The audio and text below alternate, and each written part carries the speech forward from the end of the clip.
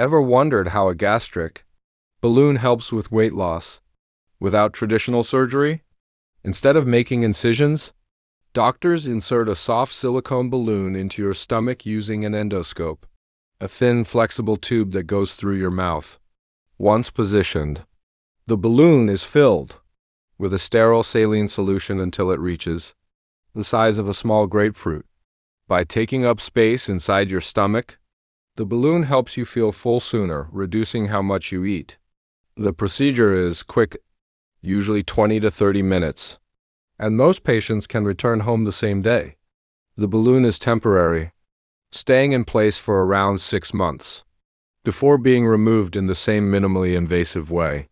Keep in mind, it's not a standalone solution. It works best alongside proper nutrition, regular exercise, and lasting lifestyle changes.